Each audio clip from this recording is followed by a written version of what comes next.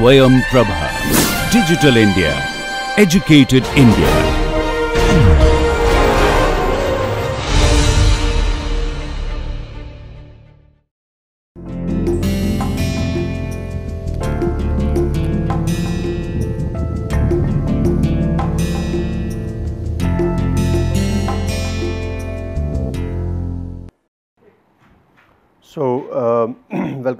New lecture again uh, of, of the course fundamentals and application dielectric ceramics. So, let us just briefly recap the last lecture. So, in the last lecture we completed our discussion on uh, domains in ferroelectric materials and we saw how they uh, how the domains evolve during ferroelectric switching uh, going from uh, going from zero polarization to very high saturation polarization then re reverting the switch uh, field back to 0 brings us back to the state of uh, remnant polarization where there is unequal uh, uh, there are unequal volume fractions of do up domain with respect to down domain so vice versa depending upon minus PR or plus PR and then how you have to again apply a uh, electric field extra electric field to force the system back to zero polarization state which is the coercive field. So, domains are very important and their size is very important. So, factors which play important role are domain size, switching kinetics etc., which are out of purview of this course, but these are very important factors and domains are affected by for example, things like grain boundaries, how domains switch is a function of grain size in the system, it is also a function of defects in the system, defects and impurities and so on and so forth. Okay. So, this is a, a topic of uh, basically this is a topic which uh, frequently is faced by researchers working in the area which, which whose aim is to synthesize good ferroelectric materials and then we look at looked at some common examples. And common examples as we saw were uh, things like lead titanate, barium titanate, you can have PbZrO3, solu solid solution of PbZr and Ti which is the most common ferroelectric PbTiO3, then we have uh, BiFeO3, we have solid solution of BiFeO3 and PbTiO3 and so on and so forth and of course, we have polymeric material which is PVDF and its copolymers. Okay. So, there are quite a few examples of ferroelectric materials. Of course, PZT is the benchmark material because of its high piezoelectric coefficient, but uh, other materials are also equally interesting as well as useful. So, let us just look at the phase diagram of PbZrTiO3.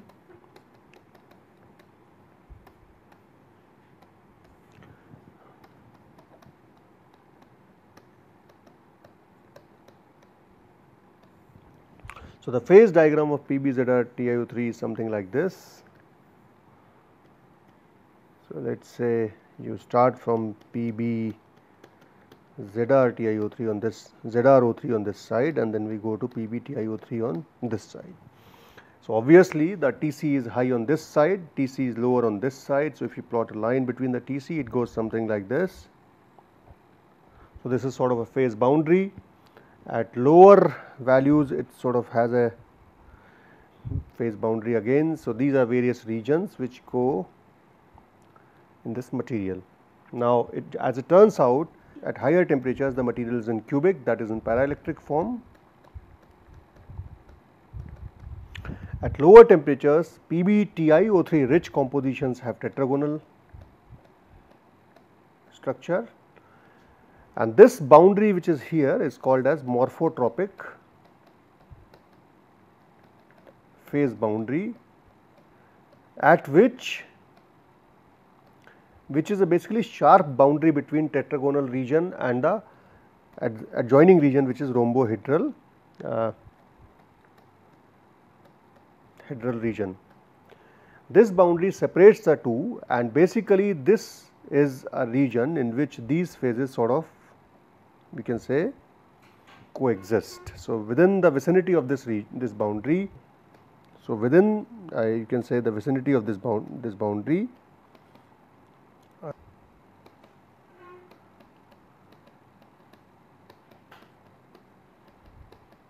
MPB both tetragonal and rhombohedral phases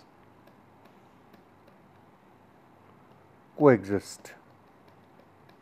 And this coexistence of two phases basically increases the number of polarization vectors you can have material because in, in tetragonal you can have this vector or this vector whereas in rhombohedral you can have uh, vectors along 1 1 1 direction right. So, you can have PR vector in this direction, this direction, this direction, this direction, this direction and this direction as well as this and that. So, in this case you will have 1 1 1 PR vectors and in this case you will have 0 0 1 as PR vector. So, when both of these coexist number of polarization vectors are larger as a result it leads to easier switching and higher higher D33. So, this gives rise to higher D33 and this is at a composition of 47 53 nearly 47 percent PBZR TiO3 and 53 percent PBTiO3 okay. So, PBZRO3 of 57, 47 and 53 of PBTI. Somewhere at the corner at low uh, PBTiO3 concentrations the material is antiferroelectric. So, pure Pure PBZR TiO3 is antiferroelectric. So, antiferroelectric material we have not discussed, but basically it shows loop like this, something like this. So, it has some sort of hysteresis. Uh, so, this is 0 electric field, this is E, this is P. So, in the first and third quadrant it shows some sort of a hysteresis, but at 0 electric field it has 0 polarization just like uh, antiferromagnet. So, at 0 magnetic field uh, antiferromagnet has 0 magnetization here also at 0 uh, electric field you have 0 polarization. But when you mix it with PBTiO3 you give you achieve some interesting qualities. So, this is 490 degree centigrade, this is 230 degree centigrade or so. So, this would be approximately the mathematical sum of 2 approximately speaking. So, it is a fairly straight line it although it is a little bit non-linear, but approximately it just goes by the rule of mixtures. So, on the left you have antiferroelectric region which is generally not very useful for most applications, but the useful application useful compositions are these uh, rhombohedral and tetragonal and the most useful of them is this MPB composition of nearly 50 50 you can say a 47 53. So, in the vicinity of MPB people make piezoelectrics which have D, D33 values exceeding 1000 or in fact even uh, very high values have been reported. So, this is uh, one material that, that, that is there in as a ferroelectric which is very useful. And similar MPBs are shown in uh, you can say similar MPB effects are seen in systems like BiFeO3, PBTiO3, BiFeO3, BaTiO3 and so on and so forth. Quite a few systems show this MPB and this MPB is quite exploited phenomena for exaggeration of properties in the vicinity of MPB. So, these are uh, so this is sort of an example of a good ferroelectric material. Okay. Now, let us see for example, what happens in case of barium titanate. Let us barium titanate is a very famous material So, barium titanate when it is when you measure its dielectric constant, the dielectric constant of barium titanate as a function of temperature, it shows three sort of you can say kinks. Okay. So, the kinks are something like this. So, you start measuring the dielectric constant, it goes something like that, then it goes boom up, then again sort of shows behavior like this then again and then again it shows and these three temperatures are and, and this there is a hysteresis as well. So, when you take it back in the opposite direction. So, this is in the forward direction, this is in the reverse direction and again this is in the forward direction and this is in the reverse direction. So, how you measure the make the measurement it is like this okay something like that. Okay. So, hmm. this so there is a hysteresis in Tc, but this happens at about minus 90 degree centigrade and this happens at about 5 degree centigrade and this happens at about 120 degree centigrade and the crystal structure goes from rhombohedral to orthorhombic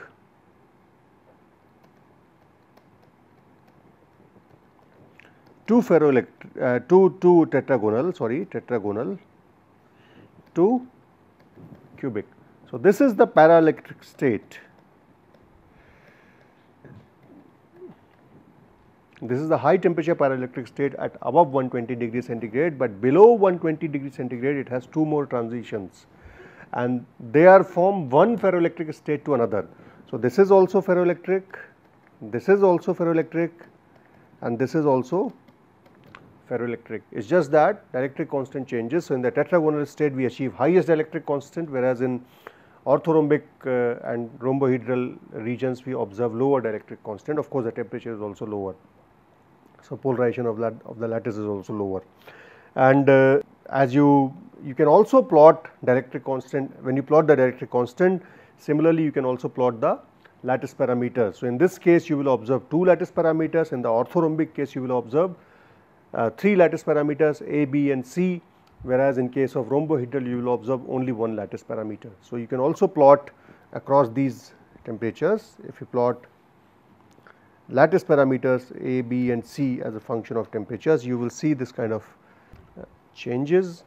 So, rhombohedral will show something like this and then uh, depending upon whether you heat or cool um, so, you will have basically 3 lattice parameters here. So, A, B, C and then in this region you will have A and C and then again you will have cubic somewhere here. So, this, this is the TC region. So, this is the TC region you will have. So, here you will have rhombohedral, you will have only one lattice parameter, here you will have 3 of them uh, orthorhombic So, you will have let us say A, B and C and then here you will have uh, C and A. So, this is tetragonal and then we have cubic only A. So, one can also measure lattice constants as a function of temperature using techniques like X-ray diffraction and one can see this variation uh, in reality in these materials. And the, the polarization vectors are also different. In cubic you have no polarization. Here you have polarization along 0 0 1 okay? In the other case you will have polarization uh, parallel to uh, 110 axis. In the orthorhombic case so you will have so when you say p001 you will have two directions right? You can have 001 or 00 bar 1 in the 110 case you can have 12 directions, right. In case of P parallel to 111, you can have 8 directions. So, this is how the polar vectors will also change as you change the uh, material. And generally in the in the tetragonal form the way it happens is that in tetragonal form when you convert this to tetragonal phase from cubic phase. So, you will see the structure will show some sort of distortion. So, these are all oxygen atoms sitting at the center of faces. This is barium atom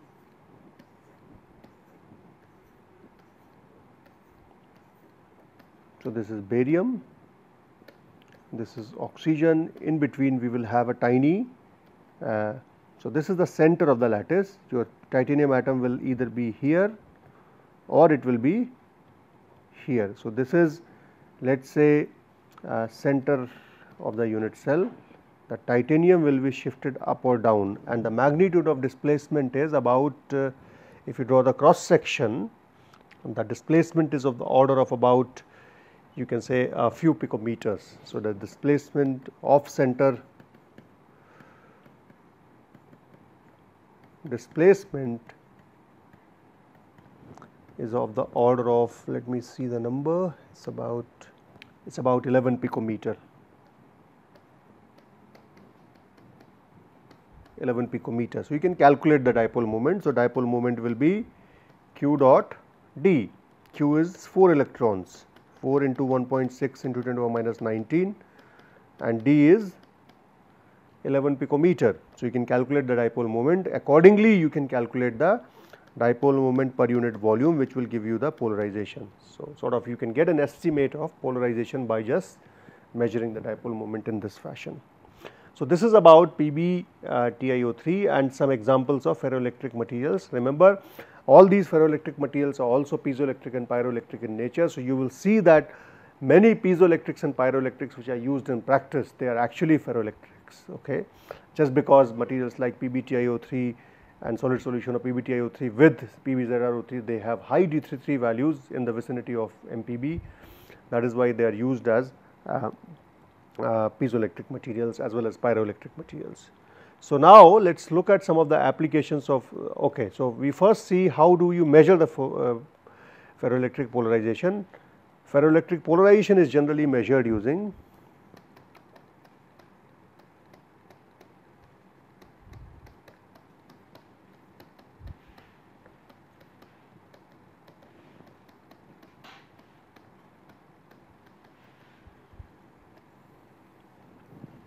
So, ferroelectric polarization is generally measured using a circuit called as Sawyer-Tower circuit. Okay. So, what you have in this circuit is basically is it's a very simple circuit, it's not a very difficult circuit. So, you have a circuit like this, let me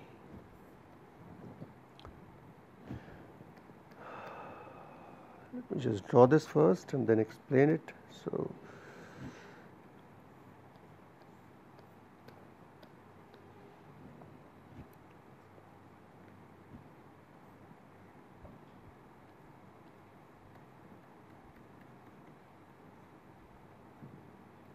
So, what you have is you have an oscilloscope, oscilloscope on which you read the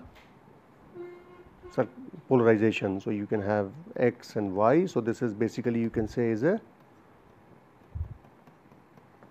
you need oscilloscope. Nowadays, you can get rid of oscilloscope, you have electronic circuits and computers. So, you do not need that, it can just be connected to computers. You need a signal generator, so that you can provide a AC field. So, this is signal generator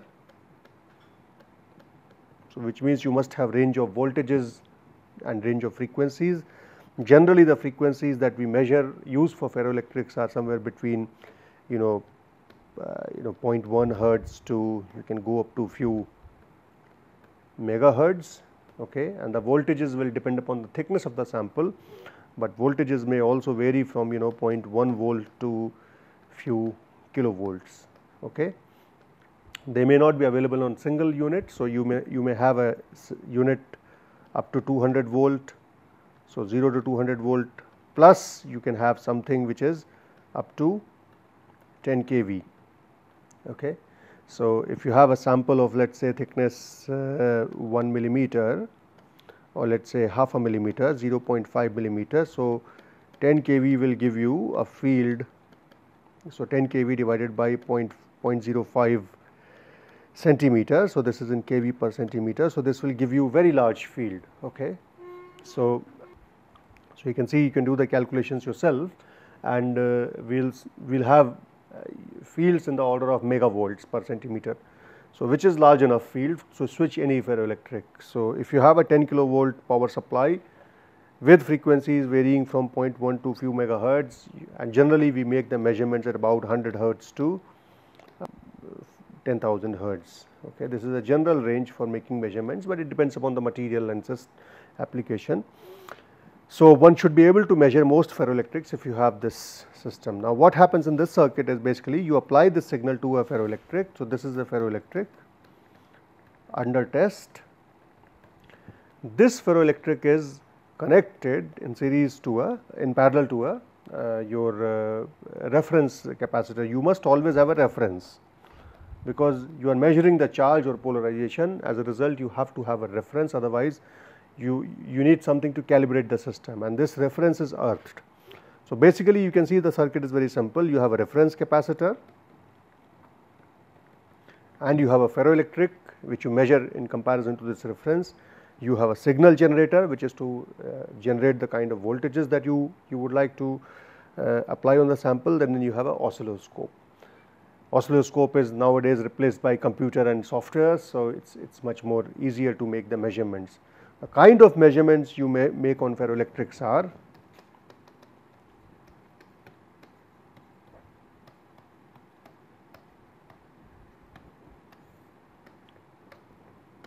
kind of measurements we make are you can make DC measurements. So, DC measurement is just for measuring the DC conductivity. Okay. Okay, just the ohmic uh, losses. But most of the measurements that you make are AC measurements that is time dependent measurements. So, time dependent measurements could be your polarization hysteresis loop measurement, okay. You can make dielectric measurements.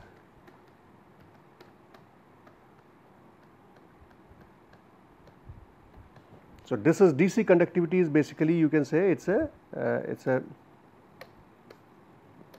is a IV measurement okay. So, you can measure ampere so you can measure either I or J, J is the current density as a function of electric field. So, current versus voltage or current density versus electric field make sure that you know whether it is current or current density. If you want to have current density then you need to have the measurement of electrode area accurately. So, generally how you make this measurement is you have this capacitor sample on that we make these electrodes. Electrodes are typically metallic electrodes made of silver or gold or platinum, you have to choose a metal which does not inject charges. You have to have a non-injecting uh, and you should have a ohmic contact. You should not have a you should not have a Schottky contact. So, generally the choice of metal is silver or gold or platinum. You must try and make an electrode which makes a good contact. If you do not have a good contact, you are going to have defects at the interface and this is going to lead to very poor measurements. So, generally we prefer the contacts which are evaporated contacts and after evaporation or spin uh, or printing you will have to anneal them to make a better contact. Annealing can be done at a little lower temperature, but thermal treatment may often be necessary. So, you have a ferroelectric which is sandwiched between these two electrodes. In order to calculate the current density or the charge density, you must know the size of this electrode. Size of this electrode especially basically the diameter of the electrode is very important for the calculation of any quantity in terms of per unit area.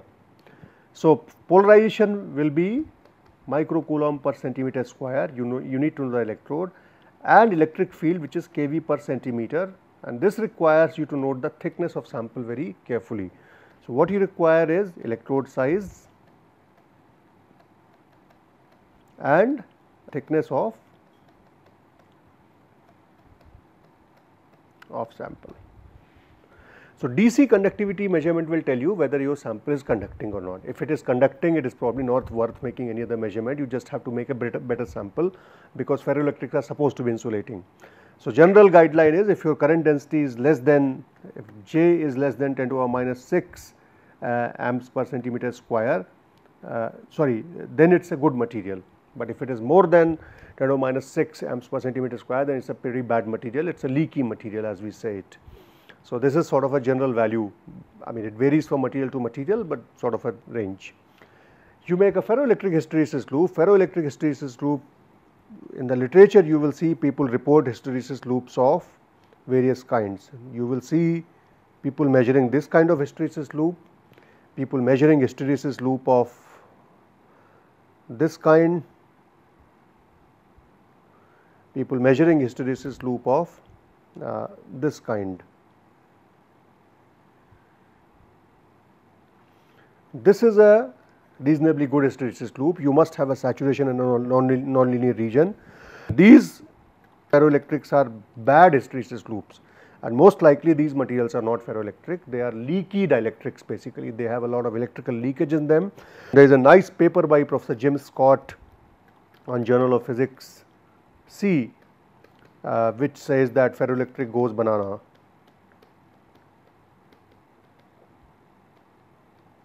Go bananas. Uh, you can search it this paper, it shows that even if you make a measurement on a banana, you will get a loop. So, it is important to differentiate between a good loop, a proper ferroelectric loop and a uh, and a non ferroelectric loop. So, any any measurement which shows rounding of hysteresis loop tip wherever you have a lot of rounding at the tip or a very bloated kind of ferroelectric loop that is probably not a ferroelectric it is a it may be ferroelectric at lower temperatures but certainly there are lot there is a lot of leakage in the material which does not give you the intrinsic ferroelectric character. Intrinsic ferroelectric character must always result in this kind of uh, loop. You must have a saturation and this is what we are striving for. This is what we want. We do not want the red ones and these black ones. These, these are not good loops. And uh, so, as a result there is a need to make if you get these kind of loops there is a necessity of making temperature dependent measurements because at lower temperatures the ohmic uh, contributions will become lower as a result you might get saturation at lower temperature. So, temperature de dependent measurements are the key. Then also dielectric constants for a for a good ferroelectric the dielectric constant you should measure should show a behavior like this. Okay. Low frequency will have some interfacial polarization, but in the middle frequency then you should have a pretty flat region. A lot. So, this is a good dielectric measurement where you do not have uh, where between the relaxation regions dielectric constant is frequency sort of independent or sort of a poor quality of material would be like this something like this. So, your dielectric constant varies as a function of frequency. Now, this is this poses a lot of challenges in terms of measuring the true dielectric constant which means because your dielectric constant is varying as a function of frequency which means there are other factors which are contributing to dielectric constant and those other factors could be defects generally defects arising from grain boundaries or oxygen vacancies or point defects. They contribute to dielectric constant themselves, polarization. As a result you have frequency dependence and that is where you need to do what we call as uh, you need to do impedance analysis, impedance spectroscopy to ensure the distinction between resistive and capacitive components, the ohmic component, non-ohmic components. And you need to model the ferroelectrics on the basis dielectrics and ferroelectrics appropriately so that you can get the real capacitance and from that you can estimate what is the real dielectric constant. You cannot calculate the dielectric constant from this measurement. You have to do the impedance spectroscopy to separate out the resistive and capacitive contributions to calculate the real dielectric constant.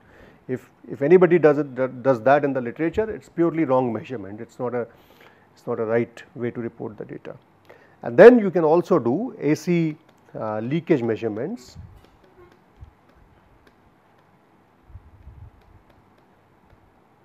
So, frequency dependent IV measurements or JE measurements and then also people do I versus T measurements or P versus uh, T measurements uh, that is time dependent stability of polarization and current. These are also very important measurements for various applications where for a ferroelectric you should not see a decay in the polarization as a function of time. If you have a memory for example, the memory should not lose its charge as a function of time, right.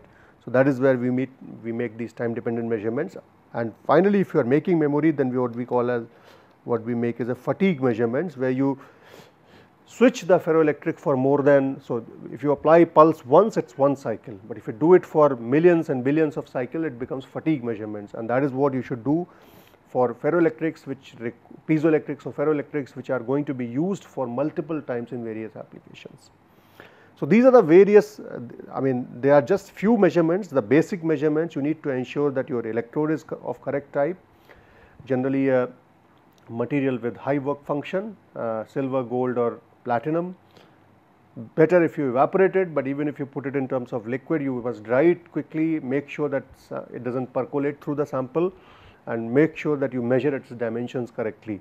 And that is why use of masks is very important and make, make sure sample thickness is uniform otherwise electric fields are not going to be uniform as well as your uh, sample dimensions are noted correctly. You can make DC measurements of leakage, you can make AC measurements of leakage, you can make ferroelectric measurement, electric measurements as well as impedance measurements, time as well as temperature dependent and make sure when you are a ferroelectric, when you are doing a ferroelectric work, your hysteresis loop should be like this, not like the one which are shown Um, in, sorry, not like the ones which are shown in black and red, they are not good ferroelectrics.